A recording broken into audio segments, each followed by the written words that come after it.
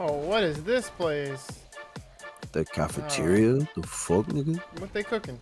Nothing good. Look how angry this motherfucker is.